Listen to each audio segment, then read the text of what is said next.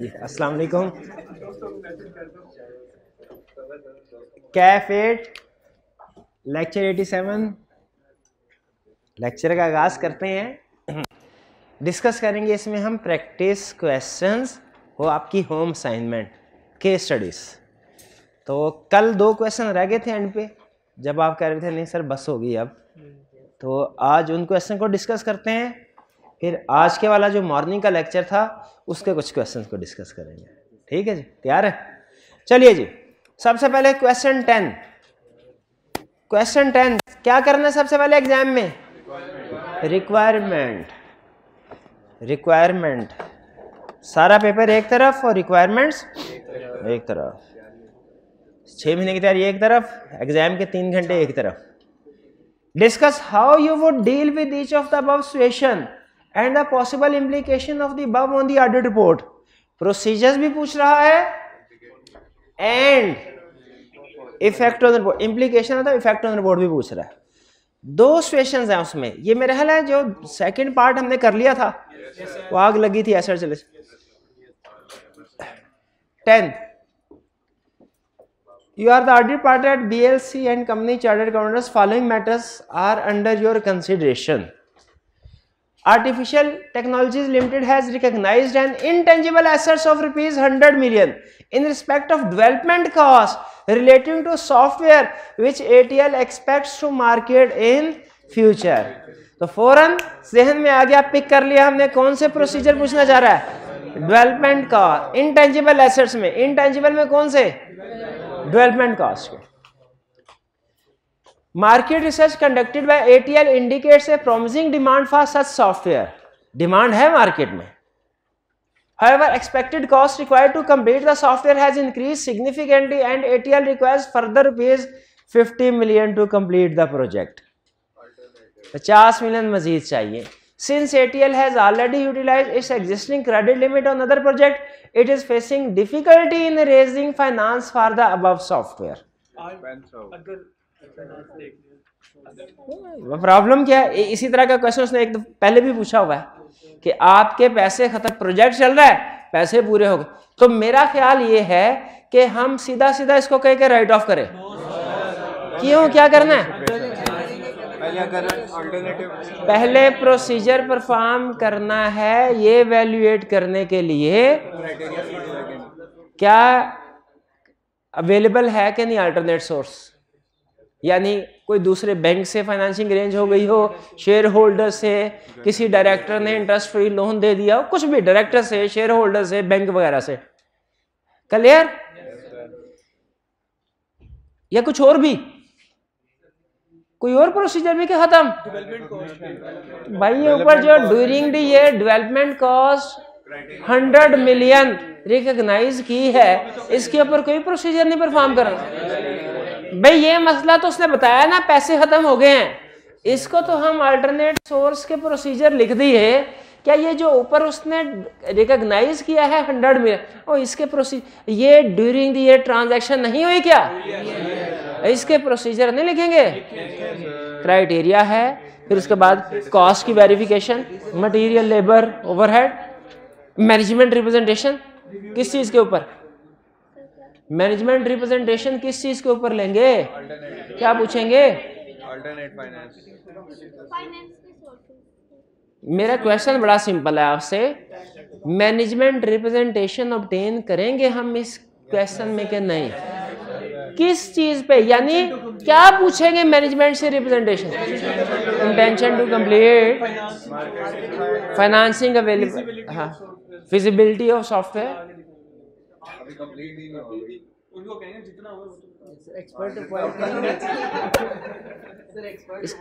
Procedure हो गए expert को बिल्कुल बिल्कुल किसी आईटी एक्सपर्ट को एंगेज कर सकते हैं ताकि वो हमें इसकी फिजिबिलिटी के बारे में इसकी मार्केट डिमांड के बारे में बताए इफ़ेक्ट ऑन रिपोर्ट अगर तो अल्टरने हम कॉस्ट वेरीफाई हो जाती है और अल्टरनेट फाइनेंस भी अवेलेबल है पूरी बात बताओ फिर बात कहना मैं कह रहा था ये मैं कह रहा था ये। पूरी बात बताओ क्या? की नो मैटर किसने इंक्लूड करना है इसमें? आगे बता। बता रहा था बता रहा बता रहा था की क्यों? की इसमें एमसीएस मैटर नहीं आएगा। की एडेड मैटर क्यों आएगा? ये ये ये ऐसा एरिया है, अहम एरिया है कोर एरिया है। और ये उस लिस्ट में है जो की ऑर्डर मैटर की लिस्ट थी लेकिन उस लिस्ट में आपको दो आइटम्स बाद में भी लिखवाई थी, वो कौन सी थी? सेल्फ कंस्ट्रक्टेड फिक्स एसेट और लीज इनटेंजिबल तो था। इनटेंजिबल एसेट्स में की ऑर्डर मैटर आएगा। अगर ठीक रहेगा हाँ अगर क्राइटेरिया मीट नहीं करता इसको राइट ऑफ़ और नहीं किया राइट ऑफ़ फिर मटेरियल मिस्टेक उस सूरत में प्रॉफिट दिया हुआ ना कैलकुलेशन करेंगे। थर्ड तो मटेरियल है। परवेसिव तो नहीं है। नहीं है फिफ्टी परसेंट से कम है। चाचू हंड्रेड मिलियन है उधर दो सौ सत्तर है फिफ्टी परसेंट से कम है। मटेरियल है। क्वालिफाइड ओपिनियन एक्सप्रेस करेंगे। क्या इस सूरत में जब क्वालिफाइड ओपिनियन एक्सप्रेस किया तो किया डिमेटर आएगा? नहीं आएगा। अच्छा स्टूडेंट इससे ये कंसेप्ट क्या बना लेता है? जब कभी क्वालिफाइड ओपिनियन आएगा तो किया मैटर नहीं आएगा। सर, आपने खुद कहा था। क्या क्वालिफाइड ओपिनियन आएगा? भाई, इसमें मैं कह रहा हूँ, मैं कह रहा हूँ कि इस क्वेश्चन में क्वालिफाइड ओपिनियन आएगा कि अडर मैटर नहीं।, नहीं आएगा। तो स्टूडेंट क्या कंसर्ट बनाता है? कि जब कभी क्वालिफाइड ओपिनियन आएगा कि अडर मैटर ऐसे थोड़ी कहा है मैंने। इस मैटर की वजह से कि अडर मैटर नहीं आएगा वो किसी दूसरे मैटर की वजह से आ सकता है। आ सकता है।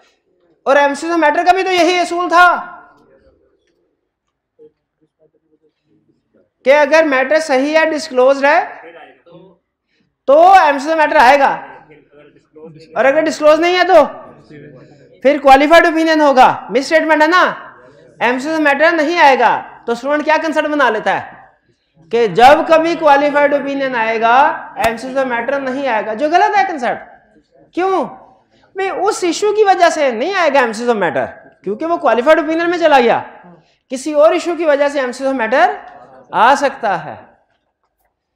क्लियर इसमें कोई प्रॉब्लम सेकंड पार्ट तो हमने कर लिया था. अगले क्वेश्चन की तरफ़ चलें.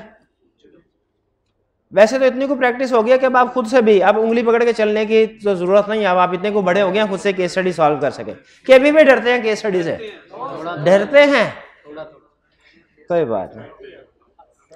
आगे चलते हैं। थोड़ी और प्रैक्टिस कर लेते हैं, कोई बात नहीं।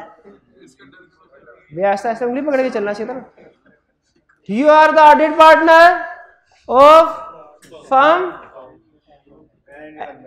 Nah. Requirement. Required. Describe the steps that you will be performed in each of the above situation and discuss the possible implication of the above on the audit report. Procedure procedure or effect. अच्छा ये क्या लिखा है drafting of audit opinion is not required paragraph नहीं लिखना बना के नहीं देना उसको। सिर्फ़ नाम बताना है कौन सा पैरा। ठीक है? ना भी लिखना तो हम लिखता हमने कौन सा लिख देना? आता थोड़ी हमें।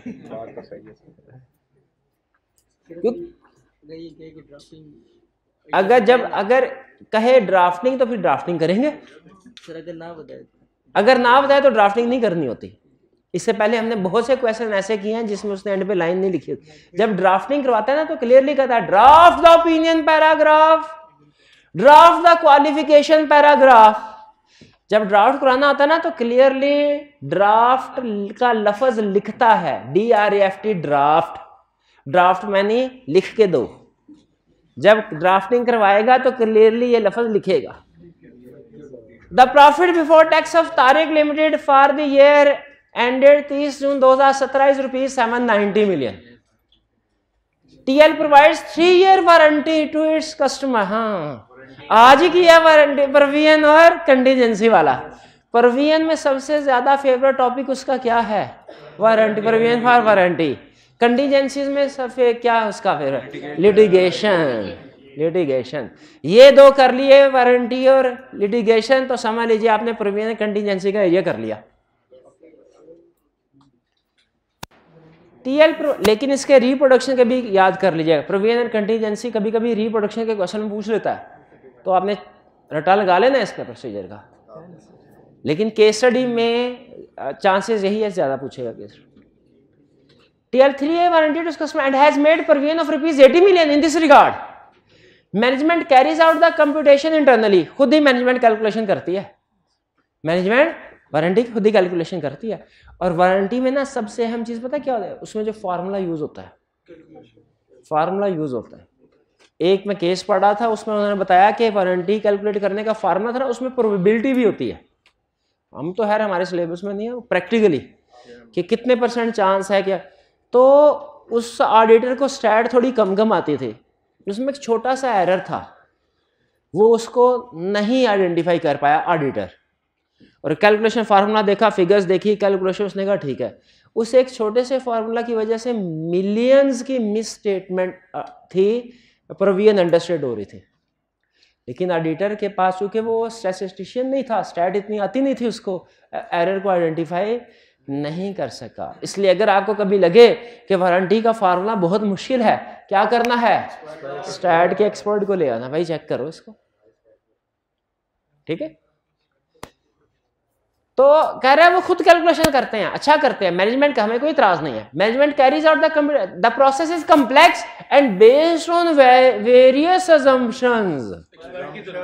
expert इससे कंफर्म हो गया एक्सपर्ट लाजमी आएगा। एक्सपर्ट अच्छा जब एक्सपर्ट आ जाएगा, फिर हम तो सुकून से बैठ जाएँगे हमें तो कुछ भी नहीं करना।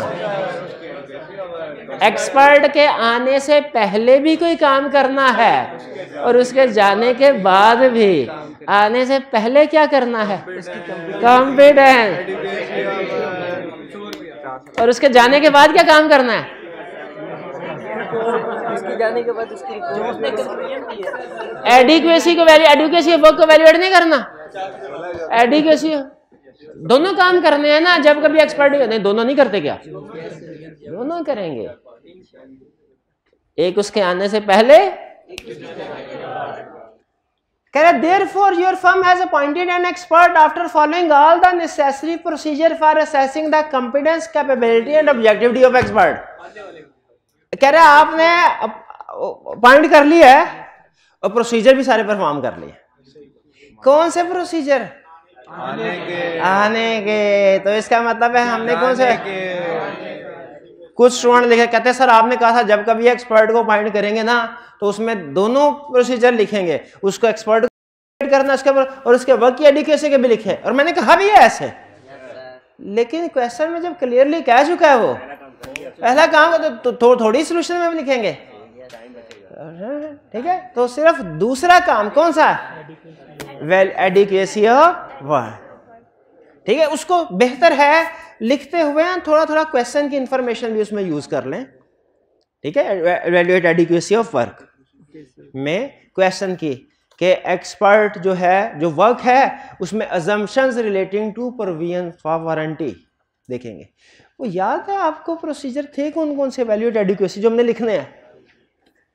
वैल्यूएट एडिक्वेसी ऑफ़ वर्क में कौन से प्रोसीजर लिखने हैं?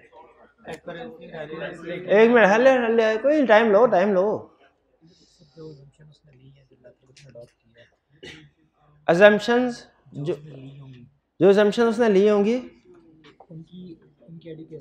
उनकी एडिक्वेसी को चेक करेंगे।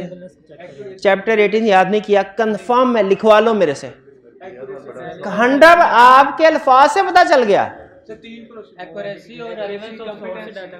Accuracy completeness relevance and relevance of source data relevance and reasonableness of matter और reasonableness of finding or conclusion and their consistency with other evidence ये तीन प्रोसीजर तो हमने लिखने हैं।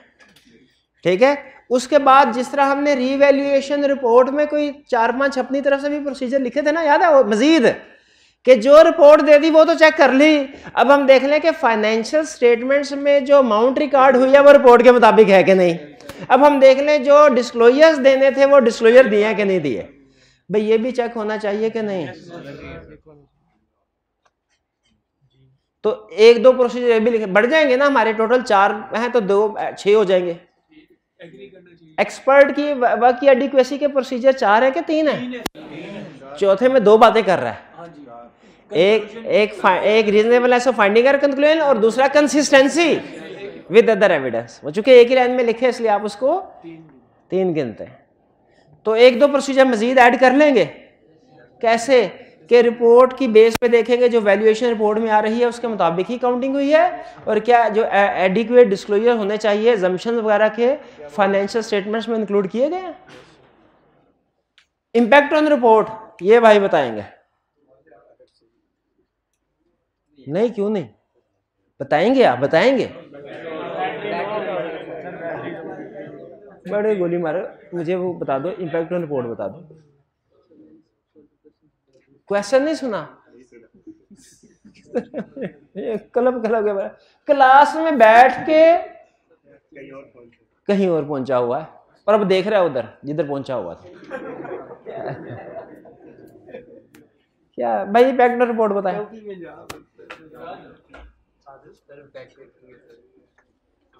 इफ़ेक्ट देखेंगे शरारती हैं वो था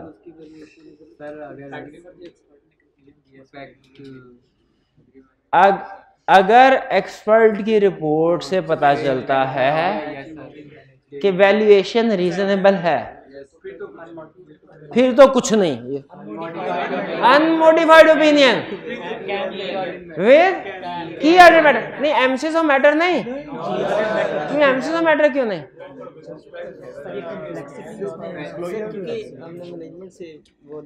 मैनेजमेंट से वो नहीं, सीधी बात कर भाई, क्योंकि सर वो लिस्ट में नहीं है।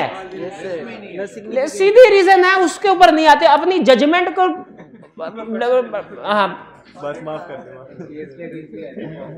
बताना ज़रूरी है। सिंपल रीजन है। भाई की ऑर्डर मैटर क्यों लिखा? क्योंकि की ऑर्डर मैटर की लिस्ट में था। एमसीएस मैटर क्यों नहीं लिखा? क्योंकि उसकी लिस्ट में नहीं था। सिंपल और एमसीएस मैटर की लिस्ट में था लेकिन फिर भी एमसीएस मैटर क्यों नहीं दिया? क्योंकि क्वालिफाइड ओपिनियन था। भाई क्लियर आगे चलें। अच्छा ये आपने ज़्यादा किया वैसे हमारे साथ। आपने कल फरमाइश की, भाई ने कहा ओके। अब देखिए कितने स्टूडेंट नहीं आए।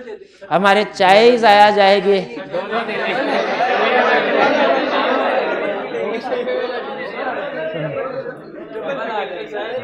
चले ठीक है, कोई नहीं नहीं। नहीं, ज़ाया नहीं हो गए। लेकिन लेकिन जो इसका इस्तेमाल था एग्री हुआ था आना चाहिए था ना बच्चों को। बारह कोई नहीं। अच्छा अच्छा सुबह मैं हैरान हूँ इस चीज़ पे हैरान होता हूँ। सुबह बारिश हुई ना तो क्लास में स्टूडेंट बहुत कम थे। क्यों बोला? बारिश हो रही थी। अच्छा सुबह की क्लास में स्टूडेंट जितने थे इस वक्त उससे भी कम है। क्यों? बारिश तो अभी भी हो रही थी हैं? जब घर से आना होता है ना तब बारिश बड़ा तंग करती है। जब वापस आना होता है ना फिर मौसम वही मौसम खुशगवार हो जाता है हैं? ये साइंस मुझे समझ नहीं आती। होता है ना ऐसे मैं सही गलत रहा हूँ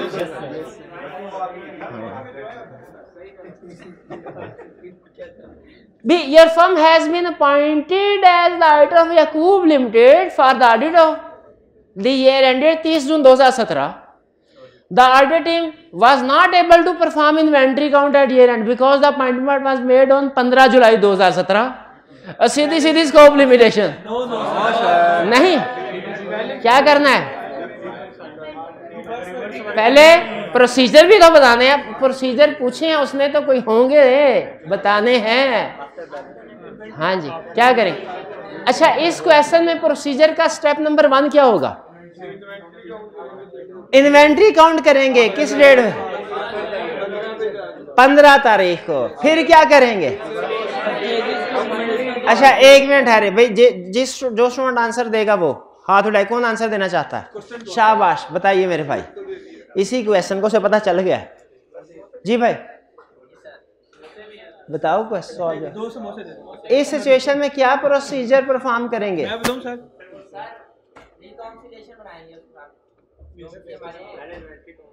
पहले इन्वेंट्री काउंट ना कर ले पंद्रह जुलाई पंद्रह जुलाई पे। पंद्रह जुलाई पंद्रह जुलाई पे इन्वेंट्री काउंट कर लिया ठीक है। स्टेप नंबर टू रिकन्सिलियेशन बनाएँगे।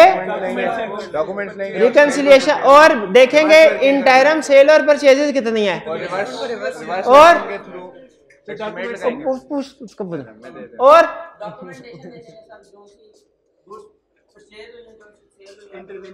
पहले सेल्स को पकड़ लें। सैंपल बेस पे सेल्स की ट्रांजैक्शन को सेलेक्ट करके स्पोर्टिंग डॉक्यूमेंट्स के साथ मैच करेंगे। स्पोर्टिंग डॉक्यूमेंट के नाम लिखेंगे? बोल बोल बोल फिर। गुड डिस्पैच नोट होगा।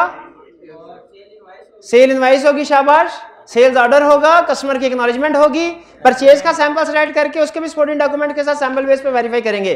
उसकी स्पोर्टिंग डॉक्यूमेंट के नाम बताएँ। Good receipt note purchase invoice ये सप्लायर इनवाइस भी उसे बाजुकात कहते हैं। परचेज ऑर्डर शाबाश। अच्छा बिल्कुल ठीक है ठीक है। अच्छा और ये भाई को दे, भाई को चाय का कप भी दें समोसा भी दे और पचास का नोट भी दें। शाबाश शाबाश। और बताएँ। Impact on report impact on report कौन बताएगा?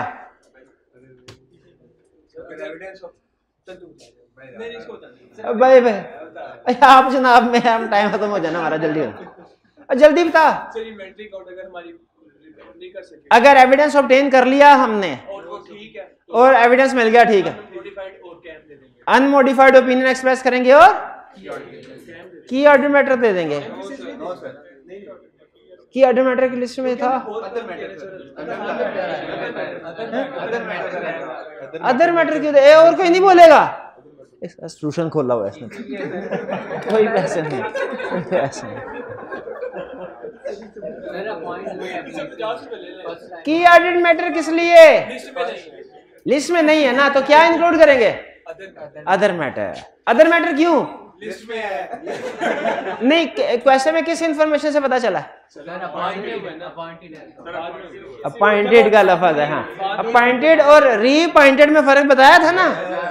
अपॉइंटेड का मतलब इनिशियल ऑडिट रीअपॉइंटेड का मतलब रिकरिंग ऑडिट क्लियर ये? अच्छा अब एक स्टेटमेंट देने लगा हूँ। आपने उसे यस या नो करना और कोई नहीं बोलेगा। इस सिचुएशन में अगर एविडेंस ऑब्टेन नहीं होता। ये स्कोप लिमिटेशन होगी। Auditor shall express qualified opinion if effect is material और disclaimer of opinion if effect is pervasive इसमें विड्रॉल की बात करनी है कि नहीं करनी? विड्रॉल की बात नहीं, क्योंकि स्कोप लिमिटेशन में मैनेजमेंट नहीं है। नहीं करनी। लेकिन अगर क्वालिफाइड या डिस्क्लेमर ओपिनियन दे रहे हैं ना तो उस सूरत में अदर मैटर पैराग्राफ नहीं आएगा। ये स्टेटमेंट सही है कि गलत? अदर फिर से सुन ले फिर से फिर से सुन ले फिर से सुन ले। इस सिचुएशन में अगर हम एविडेंस ऑब्टेन नहीं कर पाते तो हम क्वालिफाइड या डिस्क्लेमर ऑफ़ ओपिनियन एक्सप्रेस करेंगे। इस सूरत में जो अदर मैटर पैराग्राफ था जो आपने कहा कि आए, आएगा। चूँकि अब क्वालिफाइड या डिस्क्लेमर ओपिनियन दे रहे हैं तो मेरा ख्याल है अदर मैटर पैराग्राफ नहीं आएगा। आएगा सर सिर्फ़ की ऑडिट मैटर में डिस्क्लेमर पे नहीं आता हाँ। अदर मैटर पैराग्राफ फिर भी आएगा। अदर क्योंकि अदर मैटर पैराग्राफ किसी और रीजन की वजह से आ रहा है। Other matter paragraph initial audit की वजह से आ रहा है। कि कंपैरेटिव हमने नहीं वेरीफाई वो इस रीजन की वजह से नहीं आ रहा। क्लियर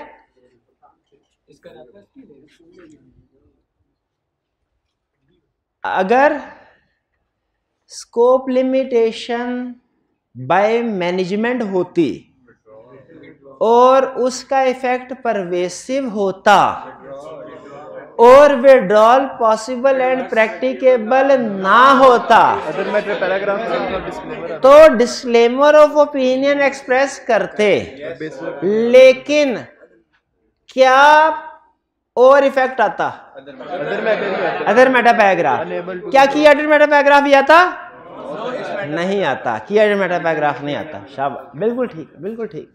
क्योंकि की अदर मैटर पैराग्राफ क्लियरली उसने कहा हुआ है कि अगर डिस्क्लेमर ओपिनियन एक्सप्रेस करें या एडवर्स ओपिनियन एक्सप्रेस करें, सिर्फ़ डिस्क्लेमर ऑफ़ ओपिनियन पे कहा है एडवर्स पे नहीं कहा। हाँ तो मैंने इसीलिए आया कि ताकि आप मेरी गलती पकड़े। मैं ये थोड़ी कहा हाँ में हाँ में ला लें। वो बस उन वो भाई भाई के लिए इजाज़त है, आपके लिए इजाज़त नहीं है। तो एडवर्स ओपिनियन अगर रिपोर्ट में आ रहा हो, क्या की ऑर्डर मैटर दे सकते हैं? एडवर्स ओपिनियन आ रहा हो कि ऑडिट मैटर दे सकते हैं। एडवर्स ओपिनियन आ रहा ये तो ऐसे इजी हो गया, जैसे दावत में, सच में दावत में आया हो। मैं पूछ रहा हूँ उससे, वो रिलैक्स है। मुकाबला कर रहे हैं दोनों, मैं ही खा रहा हूँ, तुम दोनों कौन ज़्यादा खा? एडवर्स ओपिनियन आएगा तो क्या भाई चटनी नहीं लेके आए? ऐसे ना कर रहे चटनी है ना? भाई ऐसे भाई को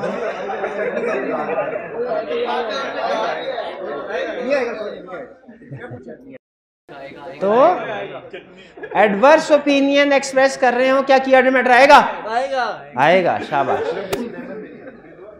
नेक्स्ट क्वेश्चन फोर सबसे पहले requirement requirement for each of the above independent matters state the audit procedure which may be perform by your audit team each of the above each each लिखा हुआ है। ईच ये अलहदा रहता है दोनों का। Discuss with reason implication on the audit report reason का मतलब वही होता है कि बताना है मिस स्टेटमेंट के स्कोप लिमिटेशन है, अब बताना है इफ़ेक्ट क्या होगा। रीजन का मतलब यही होता है। तो पहला you are partner in a firm of chartered accountants following independent matters are under your consideration कौन कौन सा? पहला draft financial statements of E limited for the year ended 31 January 2021 include inventory of rupees 26 million that was purchase on first January 2021 यानी year end से पहले inventory purchase कर ली हुई थी। For fulfilling a law specialised order of a foreign customer specialised foreign customer का special order पूरा करने के लिए इन्वेंट्री बाय कर ली हुई थी। Due to sudden imposition of import restriction in the foreign country customer cancel the order on 28 January 2021 the draft financial statement show that APL's profit before tax is rupees 130 million पहला मैं question बड़ा simple आपसे। ये मसला going concern का है या inventory का? गोइंग कंसर्न का क्यों नहीं? ऑर्डर फॉरन कस्टमर ने ऑर्डर कैंसिल कर इतना बड़ा हाँ क्वेश्चन में कोई ऐसी इंफॉर्मेशन नहीं है जिससे हमें लगे कि वो क्वेश्चन वो कस्टमर मेजर है और इतना मेजर कि 20 percent thirty percent forty percent of revenue एक कस्टमर से आ रहा है। अगर वो क्वेश्चन में कहता कि मेजर कस्टमर है और मेजर भी कैसा? सिर्फ़ मेजर नहीं। मेजर के साथ एडिशनल इंफॉर्मेशन देता कि मेजर भी कैसा कि उससे 20 percent thirty percent forty percent revenue generate हो रहा है। फिर हम कहते हैं गोइंग कंसर्न का इशू अभी तो वो रेगुलर उसका कस्टमर है। तो मसला गोइंग कंसर्न का नहीं इन्वेंट्री का इन्वेंट्री में की कौन सी दर्शन पे रिस्क है? इन्वेंट्री की कौन सी दर्शन पे रिस्क है? वैल्यूएशन पे। यानी इसको हमने इंश्योर करना है कि ये वाली inventory lower of cost NRV पे आए। ये तो आज ही पढ़े हैं। अभी पढ़े हैं। एनआरवी के। क्या करेंगे? इंश्योर करेंगे ये inventory lower of cost NRV पे स्टेट की जाए। एनआरवी की डिटर्मिनेशन के लिए एस्टिमेटेड सेलिंग प्राइस देखेंगे देखेंगे वैल्यूएट करेंगे, क्या ये इन्वेंट्री किसी दूसरे कस्टमर के ऑर्डर में यूज़ हो सकती है कि नहीं? और अगर नहीं हो सकती तो इसकी प्राइस क्या है? मार्केट मार्केट प्राइस क्या है? ताकि इसे राइट डाउन किया जाए उस अमाउंट के ऊपर। अब जब हमने मिस स्टेटमेंट अब ये तो हो गया ना प्रोसीजर प्रोसीजर और हाँ इसमें अच्छा एक अहम प्रोसीजर है इसमें। मुझे नहीं पता सोल्यूशन में लिखा कि नहीं लिखा। वो एक केस स्टडी थी उसकी वजह से मुझे याद है एजिंग नहीं। सेल एग्रीमेंट क्यों? डैमेजेस शाबाश। लेकिन पूछा उन्होंने, उनसे मैं पूछ रहा था। तो डैमेजेस डैमेजेस क्यों देखेंगे? हाँ के के डैमेजेस क्या हम कोई डैमेजेस क्लेम कर सकते हैं उसे? अगर हम अगर कॉन्ट्रैक्ट में लिखा था कि जिसने भी कैंसिल किया, वो दूसरे को डैमेजेस पे करेगा। तो उसका मतलब वो डैमेजेस हमारे अदर इनकम के तौर पे रिकॉर्ड होने चाहिए। ठीक है? क्योंकि कॉन्ट्रैक्ट के मुताबिक हमने उसे क्लेम किया था। तो वो डैमेजेस वाला पॉइंट भी होता है। आइंदा जब कभी किसी भी ब्रीच ऑफ़ कॉन्ट्रैक्ट होना तो आपने ये पॉइंट भी जेन में रखना है कि ब्रीच ऑफ़ कॉन्ट्रैक्ट की वजह से अगर कॉन्ट्रैक्ट में डैमेजेस लिखे हुए ना तो वो रिसीवेबल या पेबल के तौर पर रिकॉर्ड ये लॉ में पढ़ा हुआ ना आपने? हाँ फिर इंश्योरेंस रिसीवेबल की तरह इसका नहीं इक्का दुक्का प्रोसीजर सिर्फ़ लिख दे सिर्फ़। कि अगर वो प्रोबेबल है अगर वो वर्चुअली सर्टन है तो फिर डैमेजेस को रिकॉर्ड कर लें लेकिन वरना डिस्क्लोज कर दें। अगर हम रिसीविंग एंड पे है लेकिन अगर हमारी तरफ़ से कॉन्ट्रैक्ट ब्रीच हुआ है तो फिर तो उसका मतलब एक्सपेंस रिकॉर्ड होना ही चाहिए। वन में कोई प्रॉब्लम अच्छा इसमें effect on report effect on report क्या? हाँ अगर इन्वेंट्री को लोअर ऑफ़ कॉस्ट आने पर रिकॉर्ड नहीं किया तो मिस स्टेटमेंट अच्छा मिस स्टेटमेंट के लिए हम इस 26 क्योंकि उसने एनआरबी नहीं बताई हुई ना। एक क्वेश्चन में उसने एनआरबी बताई थी कि 26 मिलियन की इन्वेंट्री है और 10 मिलियन एनआरबी है। हमने कहा, इस सिचुएशन में मिस स्टेटमेंट कितने की है? सोना की। इसमें एनआरबी नहीं बताई। तो हम ज़ीरो एज्यूम कर लेते हैं। ज़ीरो कि मिस स्टेटमेंट है 26 मिलियन की। तो मुझे बताइए 20 मटेरियलिटी लेवल के साथ कंपेयर करेंगे। मटेरियलिटी लेवल क्या है? 6.5 मिलियन हाँ तो मटेरियल है। परवेसिव तो नहीं है? परवेसिव तो नहीं है। परवेसिव क्यों नहीं है? प्रॉफिट के 50 परसेंट से कम है। क्वालिफाइड ओपिनियन और आगे? Qualified artificial express qualified opinion on financial statement ये लाइन लिखेंगे कि सिर्फ़ इतना लिख देंगे क्वालिफाइड ओपिनियन लाइन बोल जरा लाइन बोल। लाइन बोल। हाँ and auditor shall also explain nature of mis statement in basis for qualified opinion section clear ये?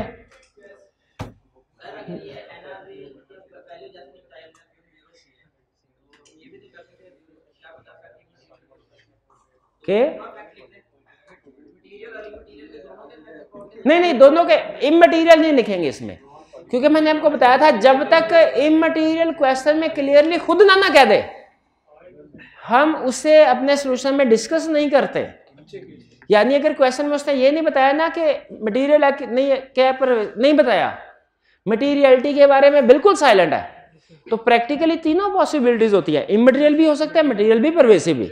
लेकिन एग्ज़ाम पॉइंट ऑफ़ व्यू से हम सिर्फ़ मटेरियल परवेसिव डिस्कस करते हैं, क्योंकि मार्किंग सीम में सोल्यूशन में एग्जामिनर कमेंट्स में वो सिर्फ़ यही दो चीज़ों को लेके चल रहा है। इमटेरियल जब तक क्वेश्चन में खुद ना ना कह दे कि मिस स्टेटमेंट या स्कोप इमटेरियल है, या अमाउंट ना दे दे 0.5 मिलियन छोट थोड़ी सी तो जब तक क्लियर ना कह दे इमटेरियल है तो हमने उसको इमटेरियल को डिस्कस नहीं करना। Clear second During the audit of Styler Limited, as the management informed him that it is largest customer. EL has recently notified that it will not renew its contract with SL, which is due to expire on 30 June 2021. Sales from EL constitute 70% of total revenue. The management has further informed that they are in negotiation with EL and are hopeful to retain the customer.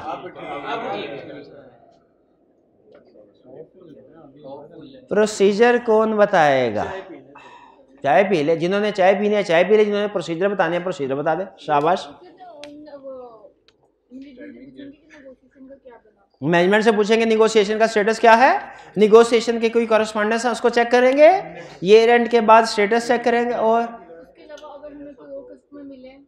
देखेंगे management ने alternate customer का arrangement किया है कि नहीं? यानी customer base को increase किया है कि नहीं? ताकि इसका सब्सिट्यूट आ सके। अगर अल्टरनेट बताते हैं तो देखेंगे कि क्या उन कस्टमर के साथ रिजनेबलनेस देखेंगे यानी उस उस के, के, उन कस्टमर का एग्रीमेंट साइन हुआ कि नहीं?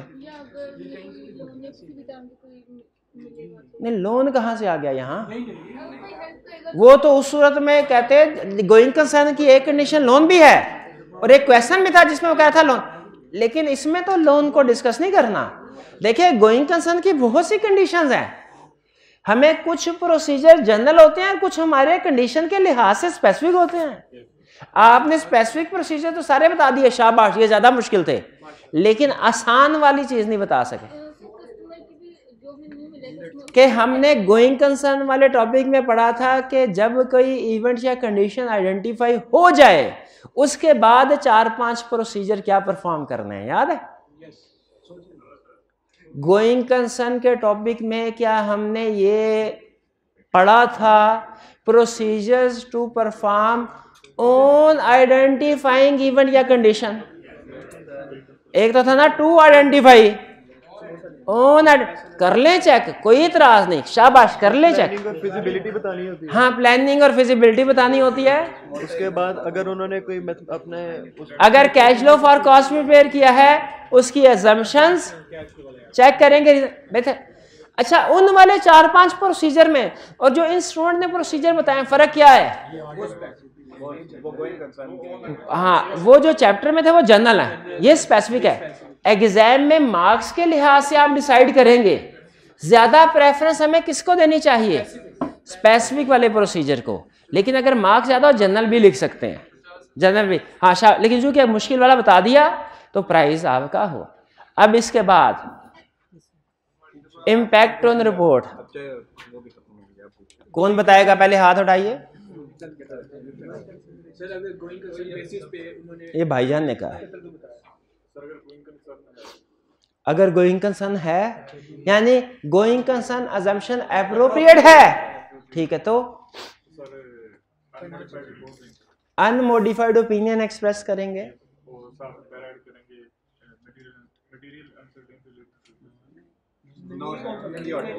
इसमें तीन पॉसिबिलिटीज थी। जी बताइए जी।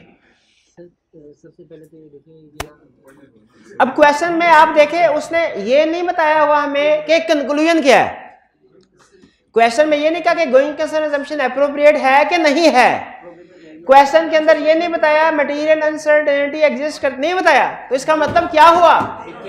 हमने तीनों डिस्कस करने हैं। वगैरह दिए हुए ये देखेंगे कि प्रोबेबल है कि पॉसिबल है। अगर भाई तीन एजम्पन्स है एक एक करके तीनों एजम्पन बता दीजिए कि क्या होगा।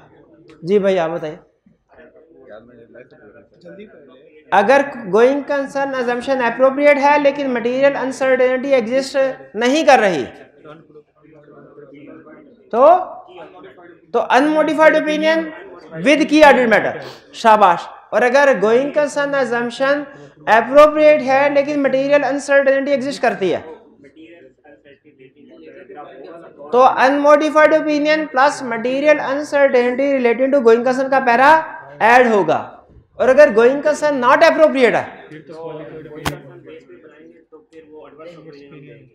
तो अगर financial statement going concern basis पे बनी है तो एडवर्स ओपिनियन और अगर नॉन गोइंग कंसर्न बेसिस पे बनी है?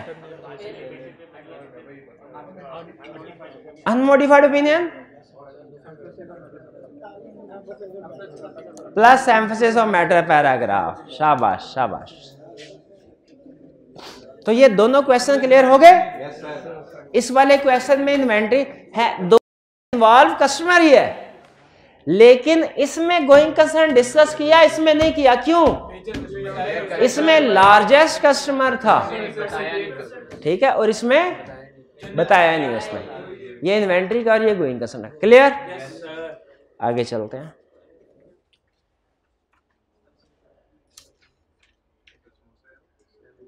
तीन पुरुष correct list the audit procedure used in obtaining evidence in relation to inventory count of inventory held in the shops and explain the reasons कह रहे इन्वेंट्री काउंट में कौन कौन से प्रोसीजर परफॉर्म करेंगे? शॉप्स में in relation to inventory count of invent inventory count के हवाले से क्या क्या प्रोसीजर परफॉर्म करेंगे? बिफोर ड्यूरिंग आफ्टर उसने मेंशन किया है कि बिफोर ड्यूरिंग बिफोर बताने ड्यूरिंग के आफ्टर फिर तीनों बता लेकिन ज़्यादा फोकस किस पे करना है? ड्यूरिंग फिर B explain the factors you should consider when placing reliance on work of यूजे ये यूजे कौन है? यूजे कोई ना कोई एक्सपर्ट होगा जिसको हम देख तो उसके वर्क पे रिलाय करने से पहले क्या प्रोसीजर परफॉर्म करने हैं? कॉम्पिटेंस क्या सिर्फ़ एडिक्वेसी ऑफ़ वर्क के प्रोसीजर लिखेंगे या कॉम्पिटेंस कैपेबिलिटी के? दोनों लिखेंगे लेकिन नंबर चार है। थोड़े थोड़े ही हैं वो कौन से लंबे लिस्ट है? एक एक लाइन के नहीं है। कॉम्पिटेंस कैपेबिलिटी ऑब्जेक्टिविटी जब लिखना है सिर्फ़ ये लाइन लिख के नहीं छोड़ देना उसके आगे दो तीन पॉइंट्स लिखने हैं। एडिक्वेसी ऑफ़ वर्क जब लिखना है सिर्फ़ हेडिंग लिख के नहीं छोड़ देना उसके अंदर दो तीन पॉइंट्स लिखने हैं। C describe the audit procedure you should perform to ensure that ज्यूनली inventory is valued correctly सबसे अहम लफा जिसमें पता क्या है? वैल्यूड करेक्ट इसका मतलब है सारी इन्वेंट्री के प्रोसीजर नहीं पूछ रहा। हाँ वही inventory is valued at lower of cost NRV वो पूछ रहा है। तो इसका मतलब है, सिर्फ़ एनआरवी के प्रोसीजर बताएँगे कि एनआरवी और कॉस्ट दोनों? दोनों। वैल्यूड करेक्टली जब जब एक दफ़ा उसने कह दिया, बताइए कि फिक्स एसेट्स बाय किया है परचेज किया है। बताइए क्या प्रोसीजर परफॉर्म करेंगे to ensure that this fix asset is correctly valued in balance sheet तो कॉस्ट के भी और? एडिशन के। तो आगे वही एडिशन के भी और? डेप्रिसिएशन के नहीं। वैल्यूएशन एलोकेशन के भी शाबाश। शाबाश। फिक्स एसेट की एग्जांपल दी असर्शन सेम है इन्वेंट्री में भी फिक्स एसेट में भी valuation and allocation procedure different है. इन्वेंट्री में एनआरवी की बात करेंगे फिक्स एसेट में डेप्रिसिएशन की बात करेंगे. क्लियर अच्छा ये अब आपने लाजमी क्वेश्चन रिटर्न फॉर्म में अटेम्प्ट करके लाना है. बल्कि सारे क्वेश्चन जो डिस्कस मेरी कोशिश होती है, ज़्यादा से ज़्यादा केस स्टडी डिस्कस करो जितना टाइम हो.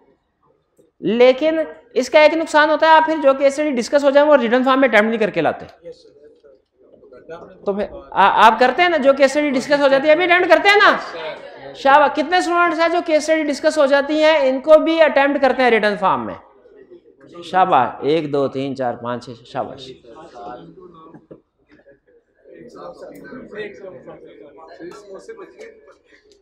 समोसे भाई समोसे बच गए मिले ही नहीं है समोसे भाई आगे आगे हैं। आपके पेट की तलाशी लेंगे तो उसमें मिलेंगे। दो तीन। आगे है ही नहीं।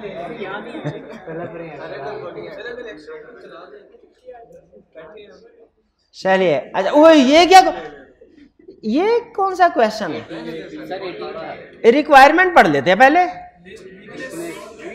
List the weakness in control system for counting inventory at depot nine ये कंट्रोल सिस्टम इंटरनल कंट्रोल तो अभी पढ़े ही नहीं। इन्वेंट्री का तो पढ़ लिए हैं। इन्वेंट्री के तो पढ़ लिए हैं। तो क्या वीकनेसेस आइडेंटिफाई कर सकते हैं? और फिर कह रहे ये नहीं सिर्फ़ वीकनेस आइडेंटिफाई करनी है। ओवरकम कैसे करना है? Explain why it is a weakness and state how that weakness can be overcome ये भी बताना है। ओवरकम कैसे करना है?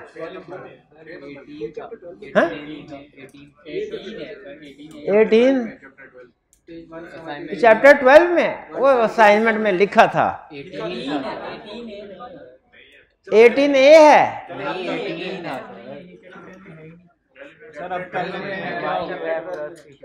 ये चैप्टर ट्वेल्व का अल्लाह के बंदे चैप्टर ट्वेल्व है।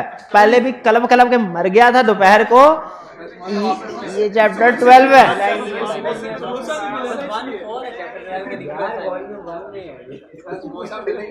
अच्छा चुप करके जरा मेरी बात सुन ले। ये question volume one chapter twelve का क्वेश्चन नंबर एटीन ए है। बात समझ आ गई है? नहीं समोसा बाकी नहीं मिला? तो ये चाय का कब किधर भैया समोसे इधर आपने चार छः छः समोसे इनको दे दिए और इन बेचारों को एक एक समोसा भी नहीं दिया। ऐसे ना करें।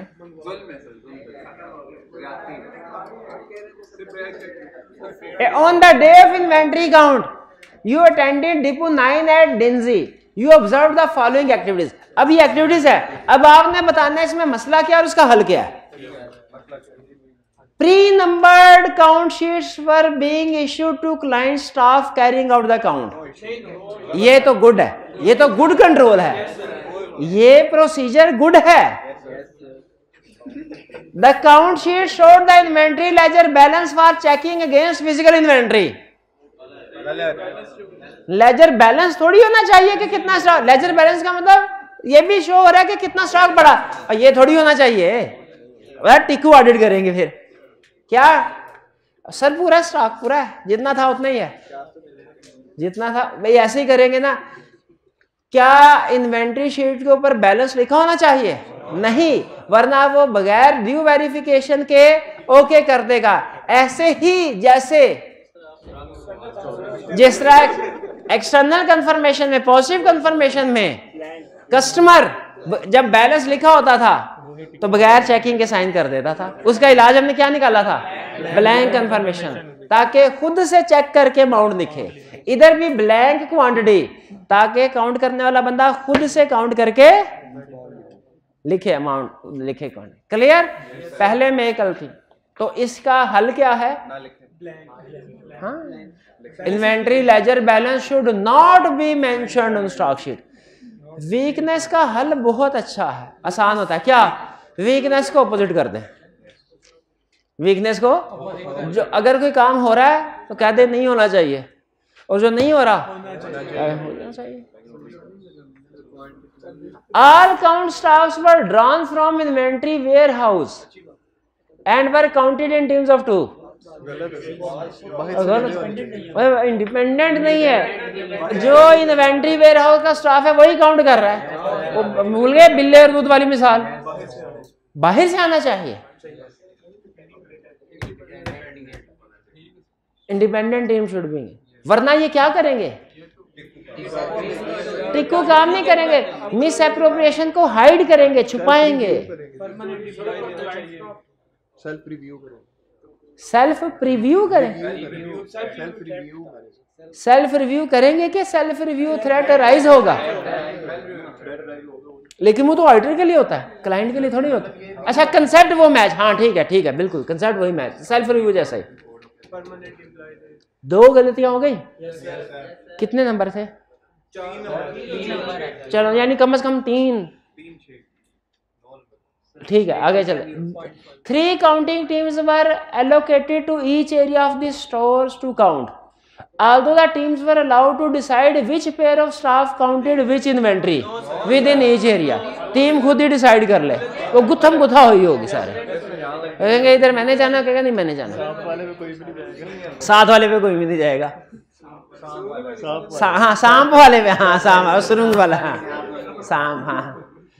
जहाँ पे शाम मेंढक है उधर कोई भी नहीं जाएगा। जहाँ पे एसी लगे होंगे वहाँ पे सारे काउंट करने तो ये वीकनेस है। तो क्या होना चाहिए? Clear instruction should be given to staff as to which area to be verified by which team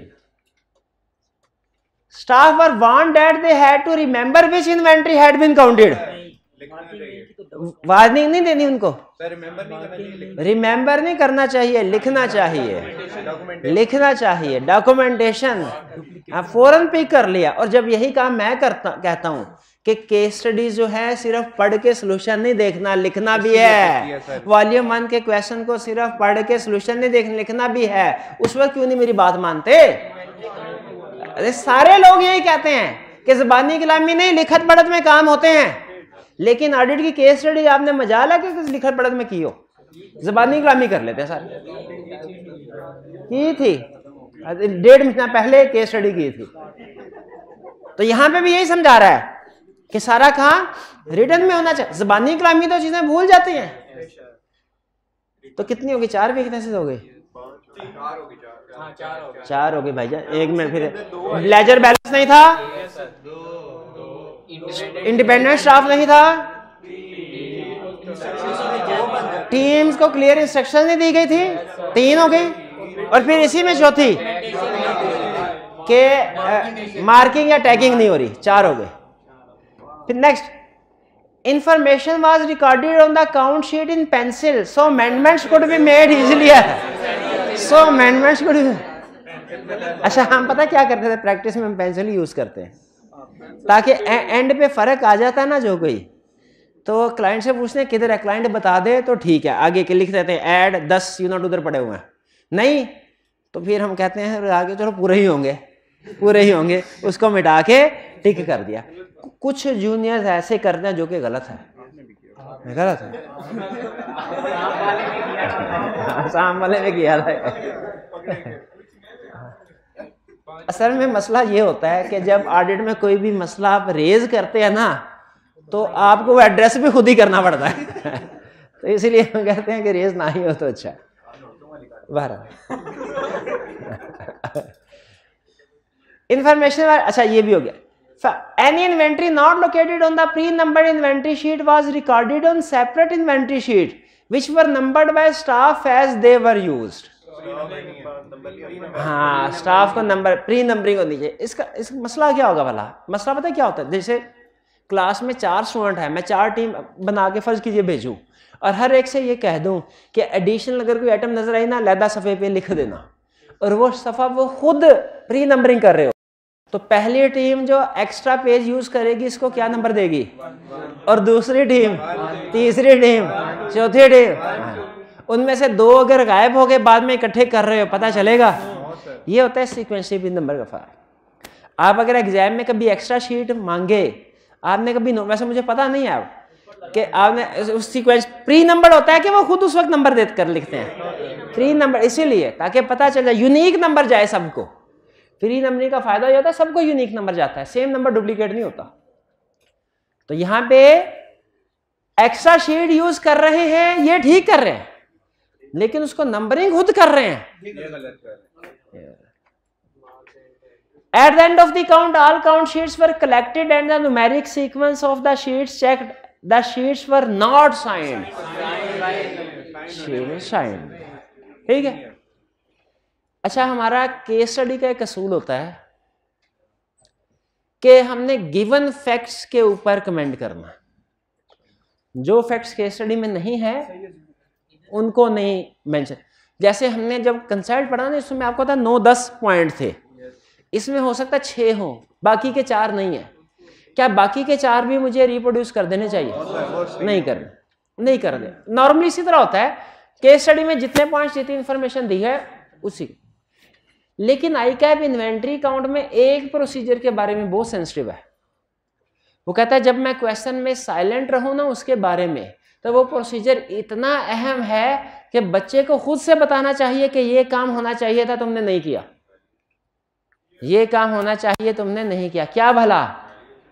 Valuation damage stock obsolete stock को लैदा से आइडेंटिफाई करना। इस पूरे क्वेश्चन में उसने कहीं नहीं बताया। अच्छा वैसे ये भी नहीं बताया कि इन्वेंट्री की मूवमेंट सेल परचेज स्टॉप हुई है कि नहीं? ये भी नहीं बताया। और ये भी नहीं बताया कि ओब्सोलीट स्टॉक आइडेंटिफाई लैदा से होना चाहिए। हुआ कि नहीं?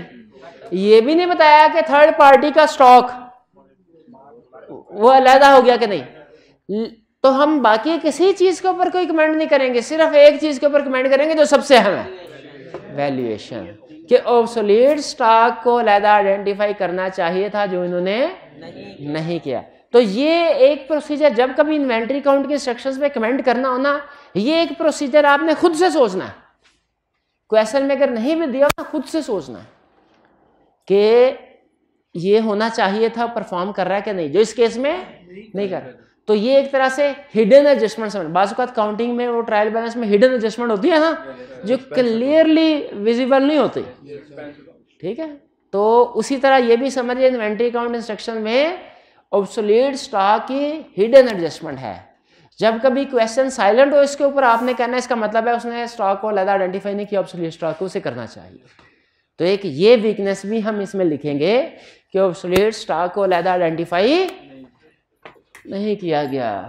क्लियर हो गया। चलें ठीक है सवा दो हो गए ठीक। नहीं नहीं बस क्वेश्चन हो गया कंप्लीट इतना ही पढ़ाना इतना ही पढ़ाना था। अच्छा आ, आपको याद है आपको होम असाइनमेंट के तौर पे क्या कहा हुआ है? रीड करके आने आपने बाकी के लर्निंग ऑब्जेक्टिव बोला था ना? रीड करके आने सारे। मैं टिक चेक करूँगा आपकी किताब पे टिक लगे हुए कि नहीं? जो प्रोसीजर पढ़ने टिक हाँ आपको कौन सा पता चला टिक ऑडिट आप ही ने सिखाया हम इधर आप ही लगाएँगे। तो भाईजान उस्तादों के पास कोई ना कोई गुरु होता है। जो उन्होंने नहीं बताया होता। है, कोई ना कोई। आपने जिसके ऊपर टिक लगाया होगा ना, मैं आपसे पूछूँगा, समझ आ गया ना? आप कहेंगे, आ गया। मैं कहूँगा, फिर इसका एक्सप्लेन करो। इसका एक्सप्लेन करो। असूल है हमारे पास भी पकड़ने के। चलिए। रीड लाजमी करके आएगा ताकि कल का लेक्चर अच्छे तरीके से चल आज का लेक्चर खत्म करते हैं हम। अल्लाह हाफिज़।